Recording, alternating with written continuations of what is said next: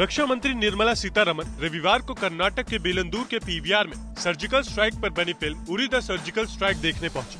उनके साथ सेना के अधिकारी और रिटायर्ड सैनिक भी थे।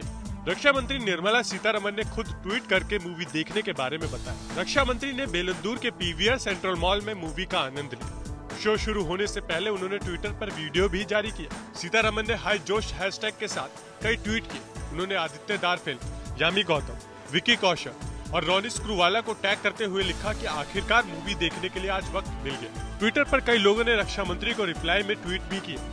किसी ने लिखा कि आप सुरक्षा बलों का हौसला बढ़ा रही है।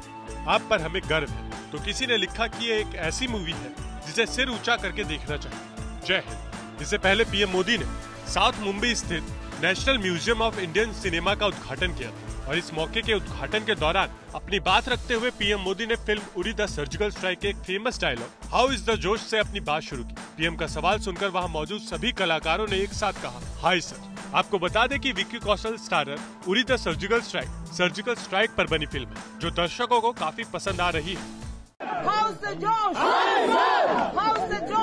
ब्यूरो रिपोर्ट भारत तक।